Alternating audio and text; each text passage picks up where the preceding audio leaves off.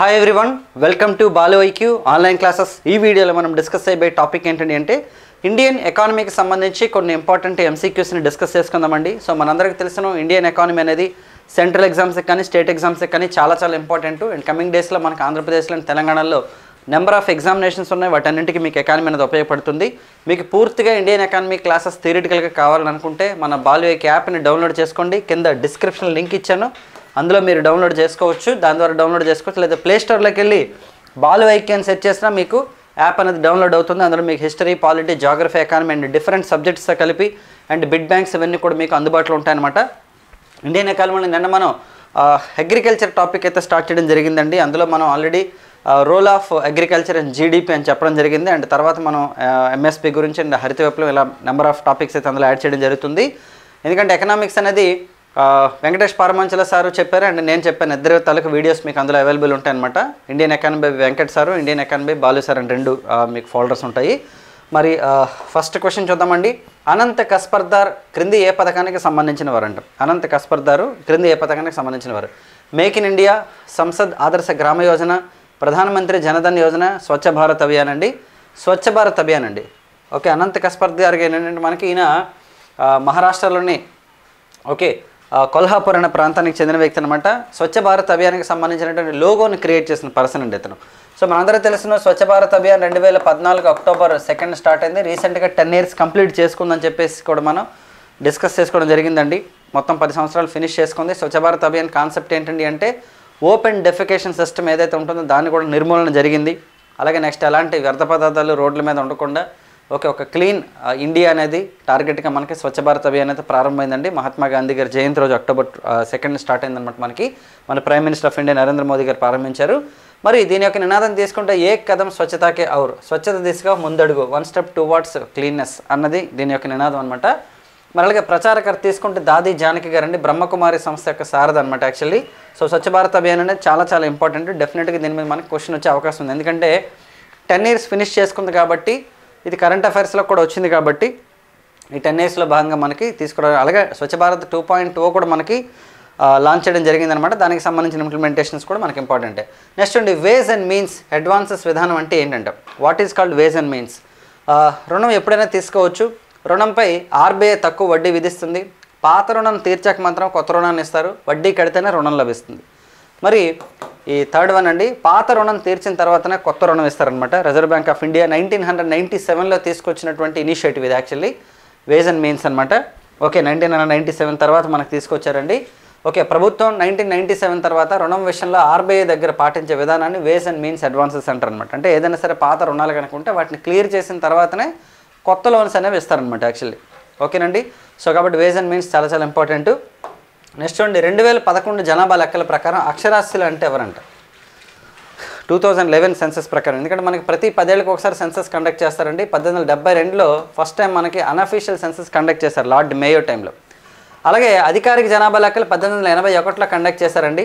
Okay ఆ తర్వాత మనకి సెన్సెస్ కండక్ట్ చేస్తున్నారు ఉన్నారు కంటిన్యూస్ కను స్వతంత్రం వచ్చాక నైన్టీన్ హండ్రెడ్ ఫిఫ్టీ వన్లో ఫస్ట్ టైం కండక్ట్ చేశారు. లేటెస్ట్ అయితే టూ థౌజండ్ లెవెనే. మనకి ఇంకా పాసిబిలిటీ ఉంది. కొత్తగా మళ్ళీ సెన్సెస్ కండక్ట్ చేసే అవకాశం ఉంది. చూడండి ఇక్కడ తన పేరును రాయగలరు చదవగలరంట. అక్షరాస్యులు అంటే రెండు వేల పదకొండు జనాభా లెక్కల ప్రకారం.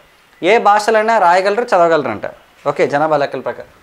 అలాగే నెక్స్ట్ రాయిట చదువుట అంకగణితం తెలిసిన వారంట.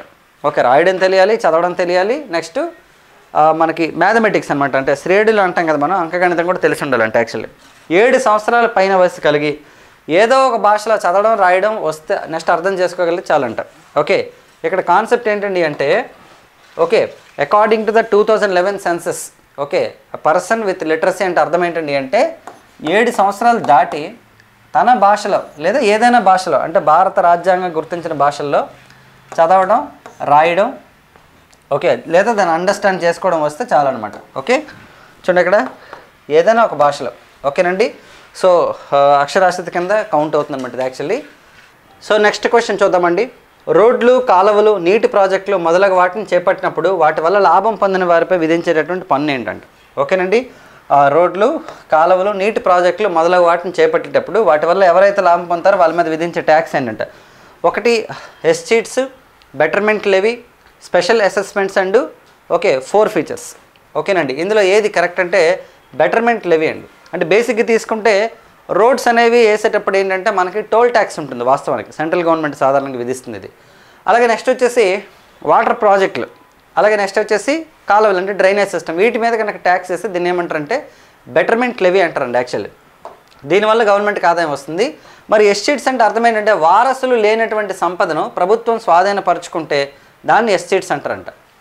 ఓకేనండి ఎగ్జాంపుల్ తీసుకుంటే బ్యాంక్ డిపాజిట్స్ కానీ లేదంటే పోస్టల్ డిపాజిట్స్ అనమాట ఇది వచ్చేసి నాన్ ట్యాక్స్ ఇన్కమ్ కిందకి వస్తుంది గవర్నమెంట్కి ఎందుకంటే ప్రభుత్వానికి ఆదాయం రెండు రకాలుగా వస్తుంది. ఒకటి ట్యాక్స్ ఇన్కమ్ రెండోది నాన్ ట్యాక్స్ ఇన్కమ్ అనమాట అంటే ఇది రెవెన్యూ ఇన్కమ్లో భాగంగా. క్యాపిటల్ ఇన్కమ్ ఈ సపరేట్ అలాగే బ్యాంక్ డిపాజిట్లు postal deposit next okay forfeitures అంటే నియమాలను ఉల్లంఘించినప్పుడు ప్రభుత్వం జప్తు జప్తు చేసే నగదును. ఓకేనండి ఏదైనా సరే రూల్స్ని రెగ్యులేషన్స్ని ఓకే కరె సరిగ్గా పాటించకపోతే ఓకే ప్రభుత్వం కనుక ఏమైనా సరే ఆస్తులను జప్తు చేస్తే దాన్ని ఫోర్ ఫీచర్స్ అంటారంట. ఓకే సో నెక్స్ట్ చూడండి దేశంలో తొలిసారిగా వ్యవసాయ బడ్జెట్ను ప్రత్యేకంగా ప్రవేశపెట్టినటువంటి రాష్ట్రం ఏంటి? భారతదేశంలో వాస్తవానికి తీసుకుంటే అగ్రికల్చర్కి కూడా సెపరేట్ బడ్జెట్ పెడుతున్నాయి చాలా రాష్ట్రాలు అనమాట ఇందులో వ్యవసాయ బడ్జెట్ని అలా ప్రవేశపెట్టిన మొట్టమొదటి రాష్ట్రం ఏది అంటే తమిళనాడు కర్ణాటక పంజాబ్ అండ్ ఆంధ్రప్రదేశ్ అండి కర్ణాటక అండి. అప్పుడు ముఖ్యమంత్రి గారు యడ్యూరప్ప గారు అనమాట యాక్చువల్లీ సో యడ్యూరప్ప గారి టైంలో సెపరేట్ అగ్రికల్చరల్ బడ్జెట్ అనమాట పెట్టడం జరిగింది. ఈ క్వశ్చన్ నెంబర్ ఆఫ్ టైమ్స్ అడిగాడు ఇది వరకు అండ్ ఇప్పుడు కూడా అడుగుతున్నారు యాక్చువల్లీ ఓకేనండి ఎందుకంటే సాధారణంగా తీసుకుంటే సెంట్రల్ లెవెల్లో మనకి ఒకప్పుడు రైల్వే బడ్జెట్ సెపరేట్గా ఉంటుంది బట్ యాక్చువల్లీ మనకి ఏంటంటే టూ థౌజండ్ సెవెంటీన్ తర్వాత ఏం చేశారంటే railway budget was merged into the general budget అనమాట actually Vivek Debroy committee recommendations మేరకు. అలా there was any separate budget in the central level అండి. But coming to the states తీసుకుంటే ఒక సెపరేట్ అలొకేషన్ లాగా కాకుండా వ్యవసాయానికి ఎంత రూరల్ డెవలప్మెంట్కి ఇంత పంచాయతీరాజ్కి కింద అలా కాకుండా అన్నింటికీ అలొకేషన్స్ చేసి సపరేట్గా వ్యవసాయానికి మాత్రం బడ్జెట్ సపరేట్గా పెడతారంట అగ్రికల్చర్ బడ్జెట్ పెట్టి అందులో మళ్ళీ మత్స్యరంగానికి ఎంత ఇస్తున్నారు? నెక్స్ట్ పశుపోషణకు సంబంధించి ఎంత ఇస్తున్నారు? ప్లస్ అలాగే రుణాల విషయం ఏంటి? ఓకే అలాగే రైతులకు సంబంధించినటువంటి స్పెషల్ ఎమ్యూనిటీస్ ఏంటంటే తీసుకుంటారనేది క్లియర్ కట్గా వివరిస్తారు. వ్యవసాయ శాఖ మంత్రి గారు పెడతారు ఈ బడ్జెట్ని వాస్తవానికి. ఓకే సో చాలా చాలా ఇంపార్టెంట్ అండి. అగ్రికల్చరల్ బడ్జెట్ అనేది చాలా important right so next question చూద్దామండి. ట్రికల్ డౌన్ థీరీ ప్రకారం అంట. అంటే ట్రికల్ డౌన్ థీరీ ప్రకారం ఏమవుతుంది? ఓకే ట్రికల్ డౌన్ థీరీ సాధారణంగా ఏంటండి అంటే ఒక ఇన్వెస్ట్మెంట్ చేసేటప్పుడు భారీ స్థాయిలో కనుక అంటే ఒక ఇన్వెస్ట్మెంట్ కనుక పెడితే అదేంటంటే మొత్తం అన్ని రంగాలకి అంటే గ్రౌండ్ లెవెల్లో ఉన్నటువంటి పబ్లిక్ రీచ్ అవ్వాలనే కాన్సెప్ట్తోనే భారీగా ఇన్వెస్ట్మెంట్లు పెడతారు. దీనివల్ల ఏమవుతుంది? ఆర్థిక రంగంలో కనుక మార్పులు వస్తే సామాజిక రంగంలో కూడా మార్పులు వస్తాయా?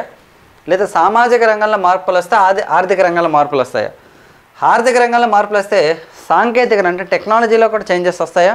ఫోర్త్ వన్ సామాజిక రంగంలో మార్పులు వస్తాయి? పర్యావరణంలో మార్పులు వస్తాయి? ట్రికిల్ డౌన్ థియరీ వల్ల ఏది ఫస్ట్ జరుగుతుంది అంటే ట్రికిల్ డౌన్ థియరీ అంటే అర్థం ఏంటంటే investing the lot of amount అనమాట ఓకే ఒక రకమైనటువంటి అమౌంట్ని అన్ని రంగాల్లో primary sector secondary sector tertiary సెక్టార్లో ఇన్వెస్ట్మెంట్స్ భారీగా పెడితే ఏమవుతుందంటే ఆ ఇన్వెస్ట్మెంట్స్ అనేది పెట్టడం వల్ల ఉపాధి కలుగుతుంది. దానివల్ల ఏమవుతుందంటే గ్రౌండ్ లెవెల్లో ఉన్న వాళ్ళతో సహా అందరికీ కూడా మనకి ఉపాధి లభించి సోషల్గా చాలా వరకు బెనిఫిట్స్ అనేవి వస్తాయన్నది కాన్సెప్ట్ సో కాబట్టి ఫస్ట్ స్టేట్మెంట్ ఇది అబ్సల్యూట్లీ కరెక్ట్ అండి.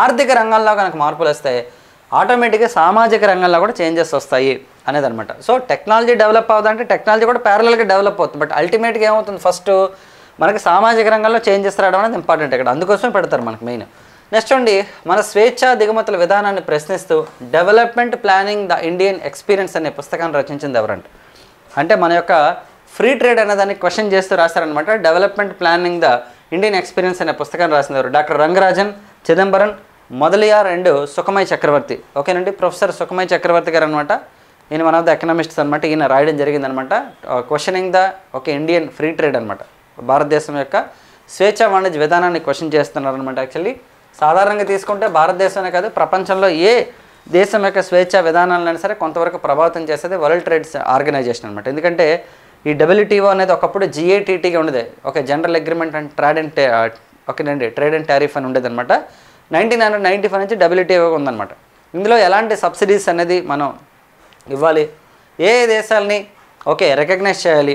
ఓకే మనకి మోస్ట్ ఫేవర్డ్ నేషన్స్గా వేటిని రికగ్నైజ్ చేసుకోవాలనే కొన్ని స్వేచ్ఛలు మనకే ఉంటాయి.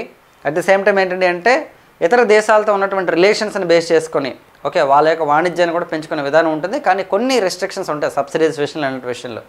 ఓకేనండి సో కాబట్టి ఈ పుస్తకాన్ని రాసిన ఎవరంటే సుకుమార్ చక్రవర్తి గారండి. సో ఇండియన్ ఎకానమీ ఏంటండి అంటే మనం ఓకే చాలా సింపుల్గా చదవచ్చు. కాకపోతే ఎక్కువ మంది భయపడడానికి గల కారణం ఏంటండి అంటే టెర్మినాలజీ అనేది మధ్య మధ్యలో వచ్చేది టఫ్గా అనిపిస్తుంది యాక్చువల్లీ అండ్ అలాగే చదివేటప్పుడు ఈజీగా అనిపిస్తుంది. తర్వాత గుర్తుండదు మ్యాథమెటిక్స్ లాంటిది ఇది కూడాను. బట్ అలా మనం కాకుండా దీన్ని కనుక మన కరెంట్ సిచ్యువేషన్స్కి అప్లై చేసుకుంటూ లేదా మన లైఫ్ స్టైల్ కనుక అప్లై చేసుకుంటూ కనుక చదివితే economy is the most easiest subject ever అనమాట ఓకే డెఫినెట్గా మన డైలీ లైఫ్తోని ఓకే ముడిపడి ఉన్నటువంటి సబ్జెక్ట్ కాబట్టి ఎకానమీని బాగా చదవండి. అట్లీస్ట్ డైలీ ఒక వన్ అవర్ మీరు చదవడానికి ట్రై చేసినా సరే మనం మంత్లో థర్టీ అవర్స్ అవుతాం ఇండియన్ ఎకానమీని కాబట్టి ఒకేసారి పది గంటలు పదిహేను గంటలు చదవలేకపోయినా రోజు ఒక గంట సేపు కనుక ఎకానమీ స్పెండ్ చేస్తే ఖచ్చితంగా మీరు మంచి నాలెడ్జ్ అయితే గెయిన్ చేస్తారండి. సివి ఈ రోజుకి సంబంధించినటువంటి క్వశ్చన్స్ అండ్ నెక్స్ట్ వీడియోస్లో మనం మరిన్ని ఓకే ఇంపార్టెంట్ సబ్జెక్టులకు సంబంధించిన ఎంసీక్యూలు డిస్కస్ చేద్దాం. కింద డిస్క్రిప్షన్లో బాలయ్యకి యాప్ లింక్ ఉంటుంది. ప్లే స్టోర్లో కూడా ఉంటుంది. సో నేను రీసెంట్గా స్టార్ట్ చేసినప్పుడు కూడా దాదాపు ఇప్పటిదాకా ముప్పై మూడు వీడియోలు చేశాను అనమాట ఇంకా చాలా వీడియోస్ వస్తే దాదాపు తొంభై వీడియోస్ వరకు నేను మీకు ఎకనామిక్స్ అనేది ప్రొవైడ్ చేయడానికి ట్రై చేస్తాను. చాలా ఇన్ఫర్మేషన్ నేను మీకు షేర్ చేస్తాను. So thank you very much all of ఇండు wish all the best.